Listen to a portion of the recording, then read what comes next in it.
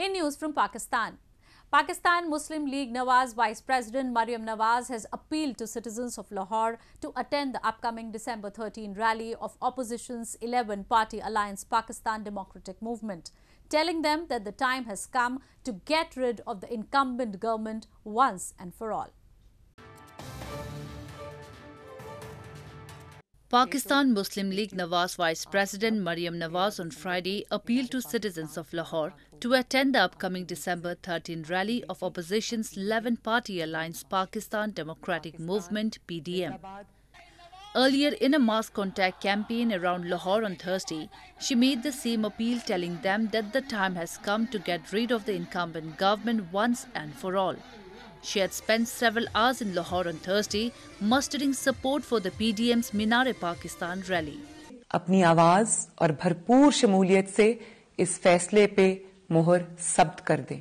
और बता दें इन जाली हुक्मरानों को कि जबर की रात कट चुकी, अब इंशाल्लाह एक आज़ाद सुबह होने को है हमारा यही सफ़र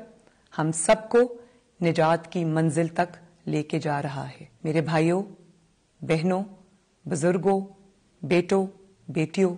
आपसे अब 13 दिसंबर को मीनारे पाकिस्तान पे मुलाकात होगी। Ahead of the opposition rally schedule for Sunday Maryam Nawaz met Pakistan Peoples Party chairperson Bilawal Bhutto Zardari and discuss the strategy regarding the rally at Minar-e Pakistan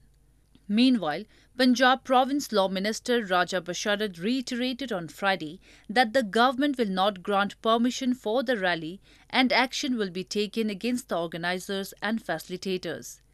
Despite ban on gathering amid pandemic, the opposition alliance are holding a series of anti-government protest rallies across the country that it plans will culminate in the march on capital Islamabad in January to call for Prime Minister Imran Khan's resignation.